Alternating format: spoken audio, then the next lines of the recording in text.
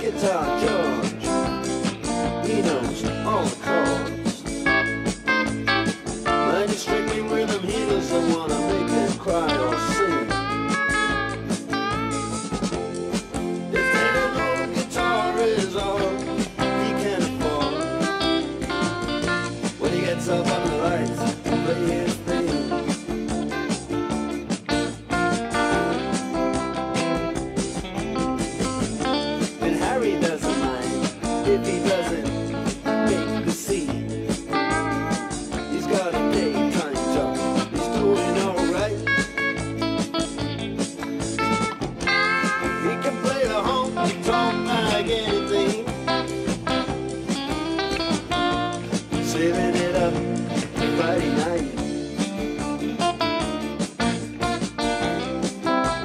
loving.